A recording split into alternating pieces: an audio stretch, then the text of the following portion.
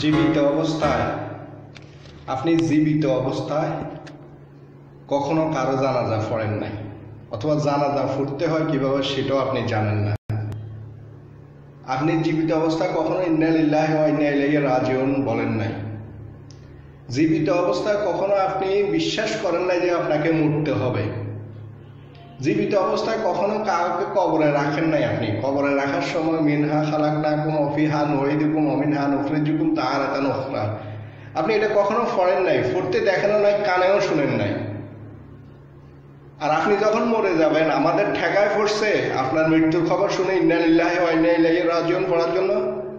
আমরা মুসলমানরা সবসময় ইন্নালিল্লাহ ওয়াইনাইলাহি রাজিউন পড়ি। কারও মৃত্যুর সময় পড়ি যে পড়ব যে এমন নয়। আমরা আলাতুল পড়ি, সবসময় পড়ি। আমরা আল্লাহর কাছ থেকে আসছি, আল্লাহর কাছে ফেরত যাবে, এটা সবসময় আমরা বলি। আমাদের দেশে কিছু মানুষ মারা যায়, এদের মারা যাওয়ার পরে এদের মৃত্যুর খবর শুনে অনেকে ইন্নালিল্লাহ পড়ে না। আবার এটার জন্য অনেকে নাকি দুঃখ প্রকাশ করেন, কেন ইন্নালিল্লাহ পড়লেন না?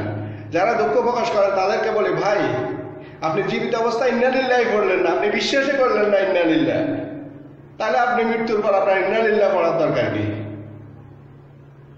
নিঃসন্দেহে দরকার নেই। বাংলাদেশে কোটি কোটি মানুষ চিকিৎসার অভাবে মরে যাচ্ছে। চিকিৎসাহীন। অথচ আপনি সরকারি সাহায্যে হাজার কোটি টাকার মালিক আপনি। ব্যবসা, বাণিজ্য সব আছে। তারপর আপনি রাষ্ট্রীয় কোষাগার থেকে সাহায্য নিয়ে আপনি সিঙ্গাপুরে চিকিৎসা করতে যাবেন। ওখান থেকে আপনি ফেরত আসলেন না, মরে গেলেন। এখন আমাদের বাংলাদেশি মানুষরা সবাই আপনার জন্য ইন্নালিল্লাহ করতে হবে। এটা এটা তো জুলুম না? আর এটা তো গুজব।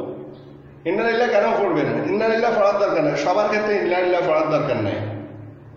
ইন্নালিল্লাহ যদি আপনার জন্য পড়ব, যদি আপনি ইন্নালিল্লাহর মানুষ হন, অথবা আপনি এই কথাটা যদি বিশ্বাস করতেন জীবিত অবস্থা, তাহলে আপনার জন্য ইন্নালিল্লাহ করতাম।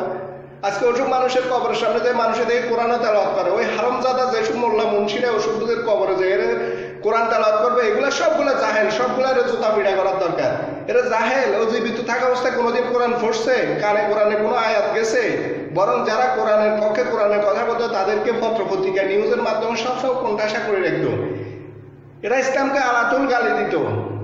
আর সে মরে গেছে, এখন আমাদের ঠেকা পড়ে গেছে। আমরা ইন্নালিল্লাহ ওয়াইনাইলাহি রাজিউন, তার জন্য আমরা দোয়া করব। ঠিক আছে? তার কবরে যে আমরা সুবহানাল্লাহ পড়ব, আলহামদুলিল্লাহ পড়ব, সূরা ফাতিহা পড়ব ইখলাস পড়ব।